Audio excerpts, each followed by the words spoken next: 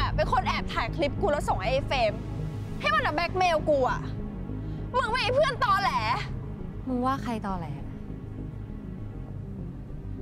มึงลองหันไปมองรอบๆตัวมึงดิ ใครๆเขาก็หมั่นไส้มึงกันทั้งนั้นแหละ